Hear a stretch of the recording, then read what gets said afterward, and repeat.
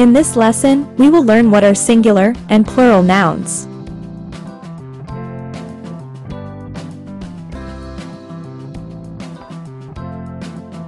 Hello, Mom.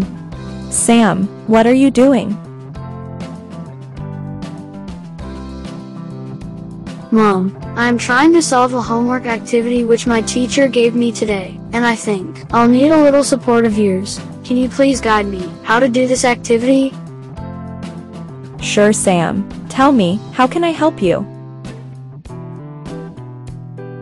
My teacher gave me this book and some paper cutouts. She told me to stick all singular nouns on one side and plural nouns on the other side. To solve this activity, first, you need to understand the concept of one and many. Sam, come here and look out of the window. Can you tell me what can you see? I can see a girl looking out of her window with an apple in her hand and a bird sitting in its nest. Just a minute, Mom. Things have changed. Now I can see two girls. Each of them have two apples in their hands, and the mother bird is not alone. She has two chicks with her in the nest. So, in total, I am able to see two girls, four apples, and three birds. Sam, always remember.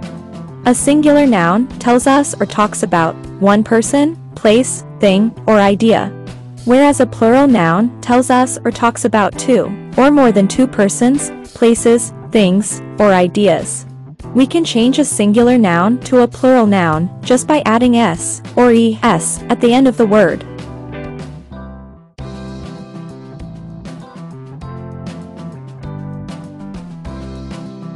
The first time you saw out of the window, you told me that you could see a girl with an apple in her hand and a bird sitting in its nest. So, they are all singular nouns. The second time you told me that you could see two girls, four apples, and three birds.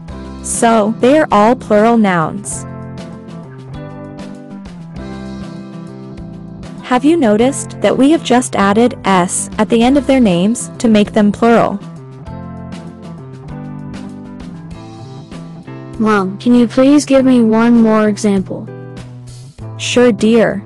I am going to give you two sentences, and you are going to identify the singular and plural nouns in them. Are you ready? Yes, Mom, I am ready. The first sentence is John is wearing a hat. And the second sentence is Wow, there are so many hats in the shop.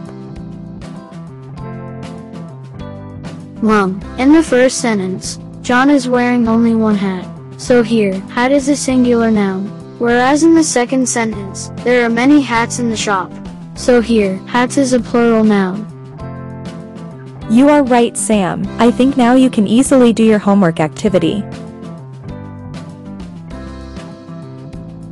If there is only one rabbit, then it is a singular noun. Whereas if there are two rabbits, then it's a plural noun. If there is only one boat, then it is a singular noun, whereas if there are two boats, then it's a plural noun. If there is only one book, then it is a singular noun, whereas if there are two, or more than two books, then it's a plural noun. If there is only one flower, then it is a singular noun, whereas if there are two, or many flowers, then it's a plural noun. Mom look, I have just finished my homework activity.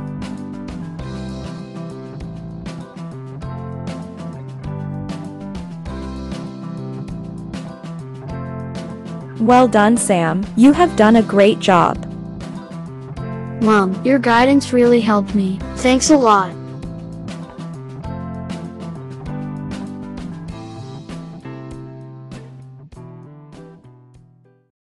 If you liked this educational interactive video, check out our complete range of educational digital course books. Visit our website at sfpublishers.net to discover more. Don't forget to like and subscribe to our channel. Also press the bell icon and select the option of all notifications. In this way you won't miss out any fresh upload of ours.